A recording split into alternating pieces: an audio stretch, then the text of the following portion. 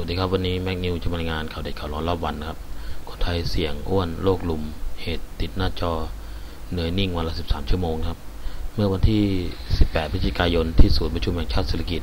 ในการประชุมวิชาการกิจกรรมทางกายระดับชาติครั้งที่ 1 ภายใต้หัวข้อ Active Living for All หรือกิจกรรมทางกายภาพเพื่อทุกคนโดยสำนักงงานกองทุนสนับสนุนการสร้างเสริมสุขภาพ สสส ร่วมกับ ศูนย์วิจัยกิจกรรมทางกายเพื่อสุขภาพมหาวิทยาลัยมหิดล โดยได้รับความร่วมมือจากหลายภาคส่วน อาทิกรมอนามัย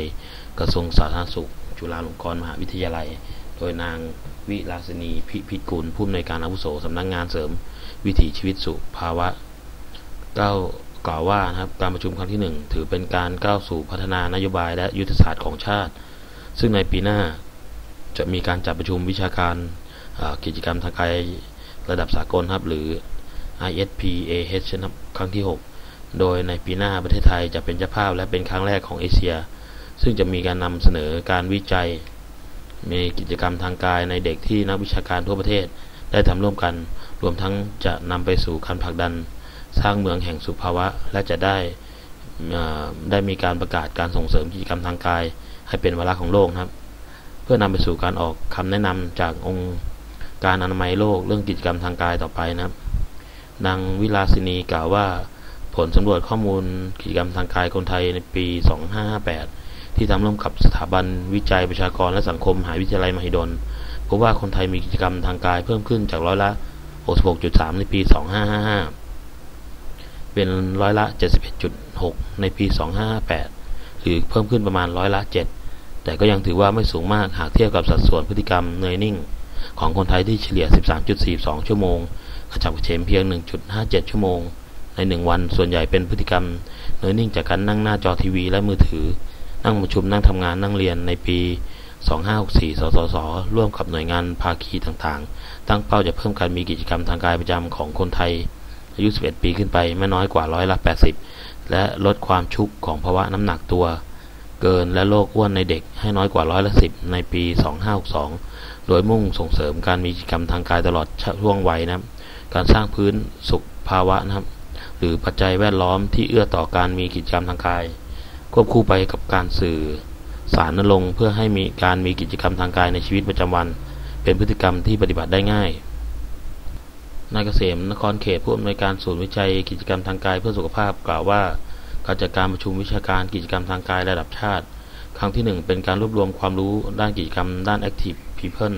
หรือการมีกิจกรรมทางกายระดับบุคคล Active Place หรือสถานที่เอื้อต่อการทำกิจกรรมทางกาย และ Active Policy หรือนโยบายของการมีกิจกรรมทางกาย โดยมีการนำเสนอวัฒนธรรมในด้านต่างๆ ทั้งการมีกิจกรรมทางกายเฉพาะกลุ่ม เด็กผู้สูงอายุ ผู้พิการเป็นต้น ส่วนการทำสถานที่ให้เอื้อกับการมีกิจกรรมทางกาย ก็มีการนำเสนอผลงานการออกแบบสถาปัตย์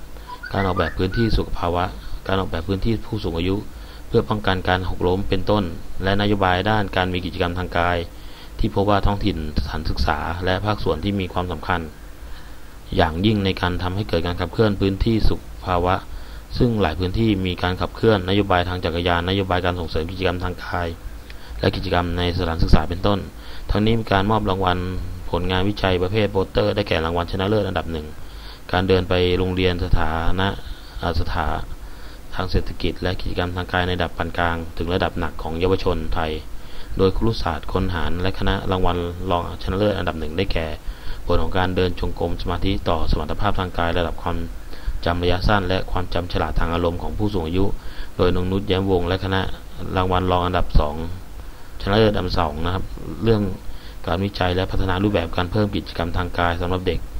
วัยรุ่นในโรงเรียนมัธยมศึกษาโดย พวงพรสุภพิษรางวัลประเภทการนำเสนอด้วยวาจา รางวัลชนะเลิศอันดับหนึ่งได้แก่ความน่าเชื่อถือของสมาร์ทโฟนในการวัดกิจกรรมทางกายในผู้ใหญ่วัยตอนต้นมีภาวะน้ำหนักเกิน โดยครุศาสตร์คนหาและคณะรางรางวัลชนะเลิศอันดับหนึ่งการใช้ออกซิเจน การออกกำลังกายด้วยอุปกรณ์ที่ประดิษฐ์ใหม่ โดยนิชา นัน ปัญญาเอก รางวัลรองชนะเลิศอันดับสองเปรียบเทียบการทรงตัวในผู้สูงอายุที่กลัวการหกล้มและไม่ไม่กลัวการหกล้ม โดยจารุภาเลขทิพย์และคณะนะครับ